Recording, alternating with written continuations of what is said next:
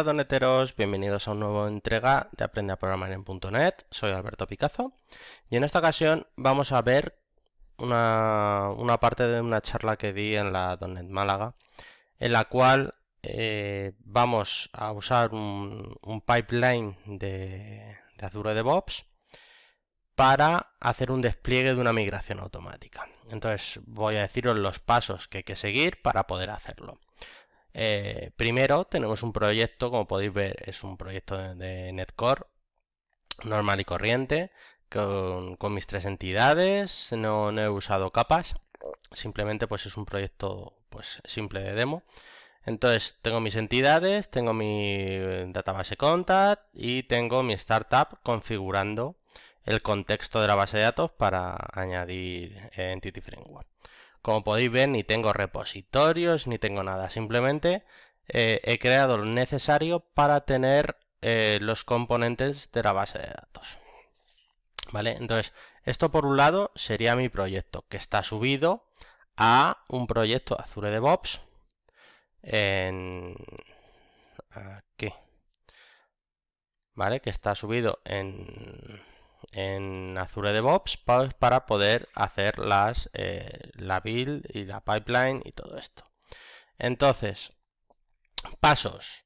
Eh, una vez que tenemos el código subido, nosotros queremos que cuando se haga una release se eh, apliquen automáticamente las migraciones que tengamos hechas. Para ello vamos a usar un... Vamos a ir a la build, vamos a explicar cómo está hecha la, la, la build. Para ello, pues hemos simplemente vamos a hacer el ejercicio de crear una nueva build con los pasos y luego seguimos con, eh, con la que tenemos hecha, ¿vale?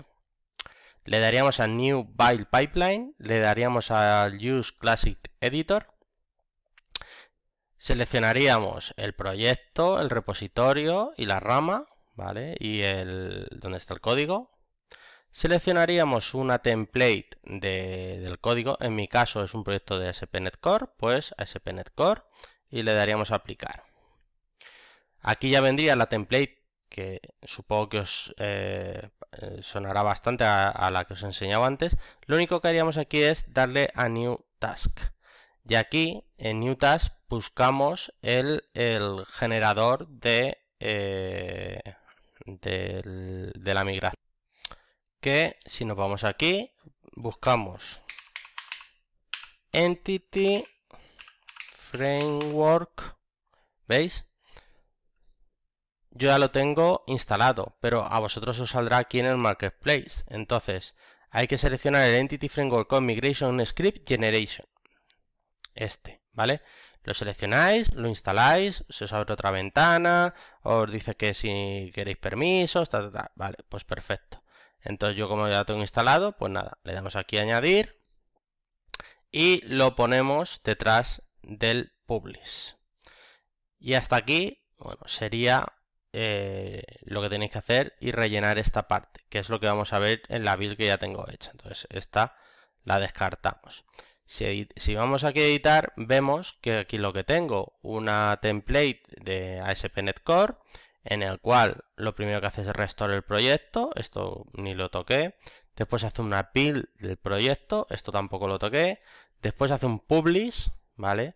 Del, proyecto, tampoco he tocado nada de esto, y lo único que he hecho es eh, rellenar esta parte del Generate Migration Script, que es la parte de, de eh, configuración y que nos va a crear la migración. Entonces, ¿Qué hay que hacer? Primero, eh, decirle dónde está el main project path. Porque si tú usas capas, es decir, si tú tienes una capa, por ejemplo, de, presentación, una capa de servicios, una capa de data access, pues tu capa principal, donde está el CSProp del, del proyecto principal, iría aquí. ¿Vale? Si le das aquí, te saldrá un, árbol de directorios y podrás seleccionarlo, ¿vale? En mi caso es el mismo, ¿vale? Porque es un proyecto de demo y es el mismo. Luego aquí, ¿cómo se llama tu database, eh, database context? Si nos vamos aquí y vemos cómo se llama nuestro contexto, vemos que se llama database context, pues es este nombre, ¿vale? El nombre que le hemos puesto a nuestro contexto. Luego, ¿cuál es el Startup Project? O sea, donde esté el startup. Como ya os he comentado, una cosa es dónde está el proyecto de inicio y otra cosa es dónde está el proyecto del startup, porque a la hora de generar las migraciones tiene que saber dónde está la configuración de nuestro eh, Entity Framework. Entonces, en mi caso, repito, es el mismo, pues se le pondría esta misma ruta en el eh, pipelines eh, de MoCS Pro. ¿Lo veis aquí? Y el target folder, pues eh, puedes ponerle el build artifact staging eh, directory, que es donde te va a generar el, el publish artifact con barra migration, por ejemplo, donde quieres que te guarde la migración que te va a hacer. ¿Vale? Entonces, pues aquí la guardaría, ¿vale? En el barra migrations. Ahora veremos en la release que, lo hace. Por último, eh, haríamos el publish artifact, ¿vale? Que esto no lo he tocado y tal cual. Entonces, ¿qué haríamos aquí? Yo porque ya no tengo la infraestructura montada con lo que fallaría, pero le daríamos a encolar. Le damos a encolar. Una vez que acaba la, la build, por ejemplo, esta build, le daríamos aquí al cohete este de aquí, al release, para que se nos cree una release en base a esta build. Entonces le daremos aquí a release, y se nos crearía una release en base al artefacto que va a crearnos nuestra build. Así, en el momento que tiremos una build y se complete satisfactoriamente, se va a desencadenar la release. ¿vale? También podríamos irnos aquí a release y crear una release por nuestra cuenta. Nada más que tendríamos que asignarle el artefacto que queremos que lo, que, que lo tenga por defecto. O sea que se puede hacer de las dos formas. Bien, ya tendríamos la build. La build lo que va a hacer es ir al proyecto del startup para generar nuestras migraciones. ¿Eso qué hace por debajo? Bueno, os voy a dar un, poco qué es lo que hace realmente ese, plugin. Eh, tú en Entity Framework hay un comando que te genera eh, los scripts. Tú puedes acceder a hacer una migración de dos formas. Tú puedes hacer un add migration y eh, luego un update database, ¿vale? Para actualizar tu esquema de base de datos a, la base de datos. O imaginemos que tú no tienes acceso a esa base de datos porque tú eres el developer, la base de datos tiene otro owner y tú no tienes acceso directo a la base de datos.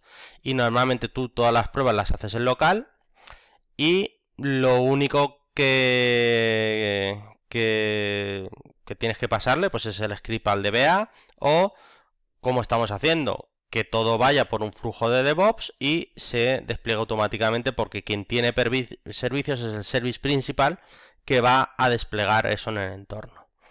Entonces, eh, hay un comando de Entity Framework que se llama script migration idempotent y ese idempotent lo que hace es generar un script en base a las migraciones que, pues que llevas en, realizadas en tu código.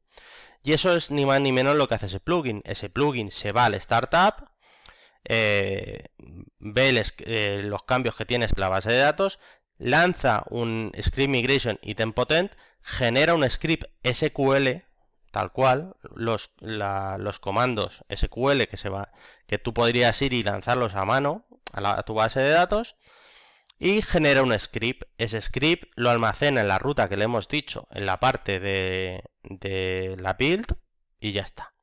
Ahora, ¿qué haría la release? La release simplemente, pues tenemos aquí la release que hemos creado, le daríamos aquí a, State Jobs.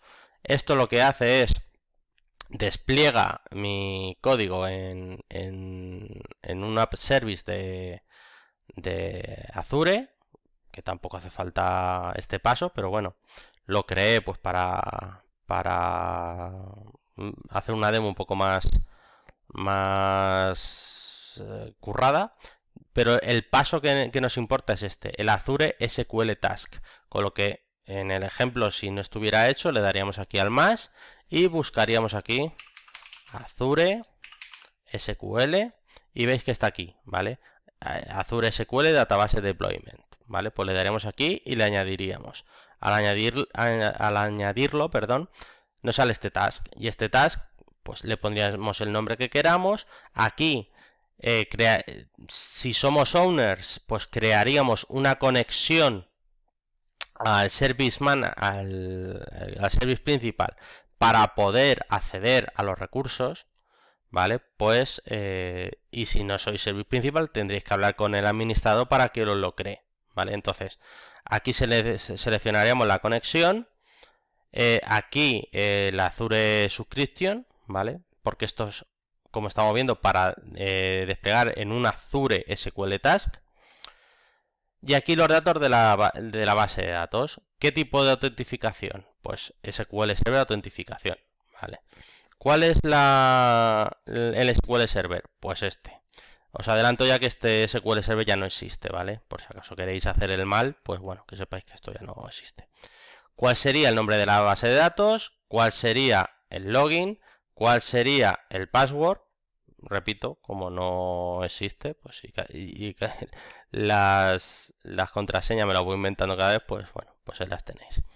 El deployment package, que esto sería la parte de, cómo queremos eh, desplegar en la base de datos, pues tendríamos el deploy type, que el deploy type, como podemos ver, puede, ser desplegar un pack, un SQL script o pegar directamente una consulta SQL en, una caja de texto. Como, nosotros lo que se nos ha creado es un script de, de SQL, en base al plugin que se genere en la build, pues le daríamos SQL script file. Y le diríamos dónde está el script que nos ha generado, con lo que le damos aquí para buscar dónde lo ha creado. En el linked artifacts le damos aquí, nos ha generado en drop y como veis en la build hemos dicho que se genere en la carpeta migrations y aquí está en la carpeta migrations. Con lo que abrimos esto y vemos que se nos ha generado un database context SQL. Si abriéramos esto veríamos sentencias SQL de create, create table, ta, ta, ta, ta, ¿vale? Pues nada, seleccionamos dónde está nuestro SQL, que a mí no se me activa porque como es la misma ruta que ya tenía, dice que, que ya está, y ya estaría, ¿vale? Ya estaría. Simplemente podríamos lanzar la build, esa build se generaría, generaría el script, eh, se lanzaría la release y al lanzarse la release se nos desplegaría el,